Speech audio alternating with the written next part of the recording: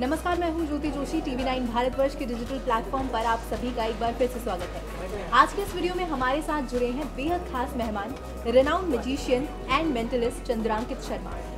Chandrankit बहुत बहुत स्वागत है आपका टीवी नाइन भारतवर्ष पर। Hi Jyoti thank you so much तो इंटरव्यू शुरू करने से पहले आपको छोटा सा इंट्रोडक्शन दे देती हूँ उनका। सात साल की उम्र से ये मैजिक और माइंड रीडिंग परफॉर्म कर रहे हैं। इसके साथ ही इंडिया में बाहर की कंट्रीज़ में कई सारे शोज़ अब तक कर चुके हैं। और अगर आप चाहते हैं कि आपका दिमाग ना पढ़ पाए या आपके सीक्रेट्स ना जान पाएँ तो उनके बारे में सोचिए ही मत। तो चंद्रांकित सबसे पहले हम चाहते हैं कि आप हमारे ऑडियंस को एक छोटा सा डेमो देकर दिखाएँ।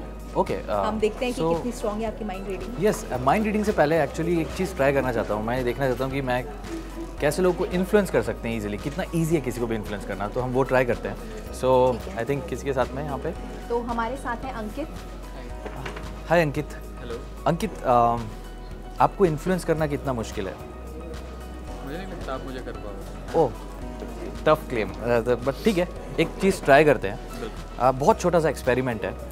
तो एक प्रिडिक्शन है ये और मेरे पास में तीन कार्ड्स हैं। स्टार सर्कल और ट्राइंगल इनमें से किसी भी एक को सेलेक्ट कीजिए अपने माइंड में और पॉइंट एट दैट सर्कल मैं एक और मौका देता हूँ आपको। आपको लगता है कि मैंने आपको सर्कल सेलेक्ट करने के लिए इन्फ्लुएंस किया या फ्री चॉइस था? शायद। शायद फ्री चॉइस था। आप चेंज कर सकते हैं। नहीं सर्कल सर्कल श्योर श्योर आपको पता है कि आपने सर्कल क्यों सेलेक्ट किया? क्यों? ये एक्चुअली फ्री चॉइस नहीं है। बहुत सारे लोगों को लगता है फ्री चॉइस है। बट मैंने ये स्टार्ट होने के पहले आपको एक चीज़ दी थी आपके हाथ में। एक पेन हाँ। वो पेन चेक कर सकते हैं आप? पेन पे लिखा है यू विल चूज़ सर्कल तो हम एक्चुअली बहुत जल्दी इन्फ्लुएंस हो जाते हैं। इनको पता भी नहीं चला और इनके सबकॉन्शियस माइंड में वो जब पेन लिया तभी वो बैठ गया। सो so, इतना ईजी है लोगों को इन्फ्लुएंस करना। Hi Sakshi.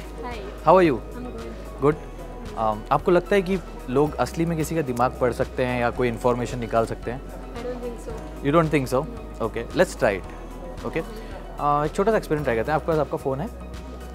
uh, इसमें एक पिन कोड होगा राइट हाँ हाँ आप पासवर्ड है आप मेरे को दे सकते हैं। ना इसको आप एक बार वाइप कर लीजिए जिससे आपको ऐसा नहीं लगे कि मैं वो पैटर्न देख रहा हूँ या कुछ ऐसा ठीक है? ना क्या किसी भी तरह मेरे को आपका ये पासवर्ड पता चल सकता है?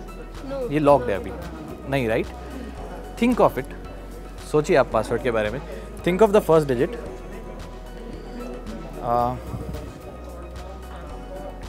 think of the second think is it odd और इवन मेरे को कुछ समझ नहीं आ रहा। I think first digit may be it's a it's zero Yeah, see. it's a zero right? Uh, okay think of the second digit. Think of oh मेरे को एक पैटर्न दिख रहा है एक्चुअली फुल फुल पासवर्ड सोचिए. मैं screen पे नहीं दिखाऊँगा बट मैं सिर्फ़ लास्ट डिजिट डालूँगा. And if this open I wanted to go crazy ठीक है? I know. Oh my god your phone actually open phone खुल गया। फ़ोन एक्चुअली खुल गया। तो इसके साथ ही मेरे साथ मेरे पास कई सारे सवाल हैं आपसे पूछने Okay. के लिए जिसमें मैं आपकी जर्नी के बारे में जानना चाहती हूँ मैजिक कब से स्टार्ट किया उन सब के बारे में। तो उसके लिए हम चलते हैं स्टूडियो तो चंद्रांकित सबसे पहले तो मैं ये जानना चाहती हूँ कि मेंटलिस्ट कौन होते हैं? हमारे दर्शकों को भी बहुत कम लोगों को इसके बारे में पता है तो उसके बारे में आप कुछ बताइए कि मेंटलिस्ट कौन होते हैं वो क्या करते हैं? सो मेंटलिस्ट जब नाम सुनते हैं तो बहुत सारे लोगों को ऐसा लगता है कि दिमाग पढ़ने वाले लोग। या फ्यूचर बताने वाले लोग। बट एक छोटा सा डिफरेंस होता है, एक साइकिक और मेंटलिस्ट में। ना mentalist is just like an art form एक आर्ट फॉर्म है, जिसमें हम एक इल्यूजन क्रिएट करते हैं माइंड रीडिंग का। दिस इज़ नॉट हैपनिंग मैं नहीं क्लेम करता कि मैं किसी का भी माइंड पढ़ सकता हूँ, मैं ये बता सकता हूँ कि आप क्या सोच रहे हैं। बट मैं वो इल्यूजन क्रिएट कर सकता हूँ कि आप क्या सोच रहे हैं। तो जैसा कि आपने बताया कि आप सात साल की उम्र से सब परफॉर्म कर रहे हैं और अभी तक कई सारी कंट्रीज़ में भी परफॉर्म कर चुके हैं। तो अपनी जर्नी के बारे में कुछ बताइए अभी तक की कैसी जर्नी रही? अमेजिंग मतलब एक्चुअली मैं जब छोटा था तब मैंने एक शो देखा था मैजिक शो एंड वहाँ से इंस्पिरेशन मिला कि मेरे को भी यही करना है। मैंने अपने पापा को परेशान कर दिया था कि मेरे को सीखना है सीखना है सीखना है। एंड फिर वो एक छोटा सा मैजिक किट आता है जो कभी मेलों में मिलता था। हाँ। वहाँ से एक शुरुआत हुई। एंड वहाँ से करते करते छोटे शोज़ घर की पार्टी से लेकर एक theatre shows two hundred two and half hours का वहाँ तक पहुँचा मैं। एंड uh, क्योंकि घर वाले पूरे पढ़ाई के बैकग्राउंड से थे चाहते थे कि और पढ़ूँ मैं तो उन्होंने बोला कि ठीक है हॉबी के लिए ठीक है यहाँ से आप अपनी पढ़ाई पर ज़्यादा ध्यान दो। सो so, फिर एक ब्रेक लग गया छोटा सा सेवन एट ईयर्स का जहाँ पे मैंने अपना ग्रेजुएशन किया। थोड़ा एक्सपीरियंस लेने के लिए मैंने एक कॉरपोरेट uh, कंपनी में काम किया। एंड देन आई डिसाइडेड कि दैट्स इट मेरे को मैजिक करना है इसको आगे बढ़ाना है। एंड वहाँ पे 2018 में मैंने सब कुछ छोड़ दिया जॉब वगैरह और I pursued my passion and make it into my profession लोगों का दिमाग कैसे पढ़ते हैं मैं दिमाग पढ़ने का इल्यूजन क्रिएट करता हूँ। एक्चुअली कॉमन ह्यूमन बिहेवियर्स पे बहुत सारी चीज़ें होती हैं। तो जो भी हमारे दर्शक देख रहे हैं उनको मैं एक छोटा सा एग्जांपल बताना चाहता हूँ कि अगर मैं अभी आपसे पूछता हूँ कि आप एक नंबर सोचिए वन से लेकर टेन तक राइट right नाउ तो mostly most of the people must be thinking of the number seven I don't know maybe आपने भी सेवन सोचा होगा. हाँ मैंने सेवन सोचा।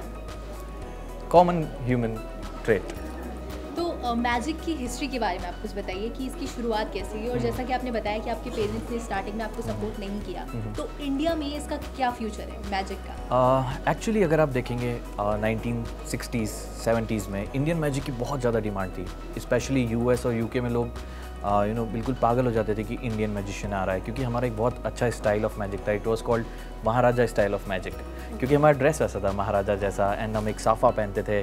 बहुत मतलब फ्लेमिंग पर्सनैलिटी होती थी। बट स्लोली आप देखेंगे तो यू नो डिक्लाइन हो गया। उसके दो रीज़न है मेरे माइंड में, जो मेरे को लगता है। एक रीज़न ये है कि जैसे कि बाकी सारी आर्ट फॉर्म को भी उतना सपोर्ट नहीं मिला मैजिक को भी उतना सपोर्ट नहीं मिला ऑडियंस से। एंड फिर मैजिशियन सब जगह और बहुत चीप में परफॉर्म करने लग गए। इससे उन्हें वो मदारी स्टेटस मिला कि यार, ये तो मदारी वाला काम है। द सेकेंड रीज़न जो मेरा पर्सनल ओपिनियन है कि कहीं पे इंडियन मैजिशियंस स्टॉप्ड इनोवेटिंग उन्होंने नया करना छोड़ दिया। जो चीज़ सेवेंटीज़ में दिखा रहे थे एटीज़ में वही दिखा रहे नाइन्टीज़ अभी भी बहुत सारे लोग वही दिखाते हैं। एंड एज ए मैजिशियन हमको लोगों से एक कदम आगे होना पड़ता है जो कि बहुत ज़रूरी है। तो वहाँ पे थोड़ा सा ये हुआ बट अभी के टाइम में आ, कुछ लोग नए आ रहे हैं कर रहे हैं। जैसे मैं कॉरपोरेट मैजिक में हूँ आई परफॉर्म फॉर कॉरपोरेट्स तो कुछ नया चाहिए। अभी मैं खाली हाथ आके भी पूरा परफॉर्म कर सकता हूँ। पहले एक ट्रक सामान आता था एंड परफॉर्म करते थे। सो so, ये सब चेंजेस हुए हैं अभी मैजिक में। बट अगेन बहुत सपोर्ट की ज़रूरत है हमें ऑडियंस से। तो एक आखिरी सवाल मैं आपसे पूछना चाहूँगी कि आपकी लाइफ में मैजिक कितना इम्पोर्टेंट है? मैजिक uh, एक्चुअली मेरी लाइफ में नहीं सभी की लाइफ में बहुत इंपॉर्टेंट है। मैं ये क्यों बोल रहा हूँ मैं आपको बताता हूँ। uh, बहुत सारे लोग सोचते हैं कि मैजिक जस्ट एंटरटेनमेंट के लिए है। बट मैजिक से हम एक्चुअली बहुत सारी चीज़ें सीख सकते हैं। uh, मैंने अपनी लाइफ में बहुत सारी चीज़ें सीखी। uh, पढ़ाई से लेकर बाकी जितनी भी एक्टिविटी होती है मेरे को लगा मैजिक का बहुत इन्फ्लुएंस रहा है हमेशा। एंड इसीलिए मैं अच्छा कर पाया कंपेयर टू बाकी लोग। मैजिक से एक्चुअली आप सीख सकते हैं क्रिएटिविटी के बारे में बॉडी लैंग्वेज के बारे में क्योंकि जो हाथ की सफ़ाई बोलते हैं कि बहुत सारे लोग सोचते हैं मैजिक हाथ की सफ़ाई है स्लाइट ऑफ़ हैंड वो एक्चुअली बॉडी लैंग्वेज है। है ना? We control it so you can learn it stage पे कॉन्फिडेंस रहना इन्फ्लुएंस करना। To be aware about surrounding surrounding के बारे में अवेयर रहना, ये सब चीज़ें आप मैजिक से सीख सकते हैं। और मैं सिखाता हूँ कॉरपोरेट्स को और किड्स को कि हाउ टू क्रिएट मैजिक जहाँ पे भी आप हैं, वहाँ कैसे मैजिक क्रिएट करना है, अपने काम में, पढ़ाई में बिज़नेस में, सब जगह। तो आप तो Chandrankit thank you so much for taking out your time for us तो आपको कैसा लगा ये वीडियो कमेंट सेक्शन में लिखकर ज़रूर बताएँ और अगर आपको ये अच्छा लगा तो इसे लाइक ज़रूर करें, इस पर कॉमेंट करें और इसे शेयर भी करें। देश और दुनिया की तमाम बड़ी खबरों के लिए सब्सक्राइब करना ना भूलें हमारा digital channel TV nine Bharatvarsh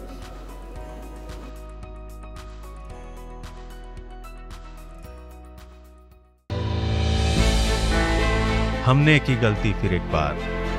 corona ने किया दोबारा प्रहार। मास्क, दो गज दूरी। करें अपनी सुरक्षा पूरी। कोरोना टीका हम सबको लगाना है। मिलकर साथ समझदारी से कोरोना को हराना है।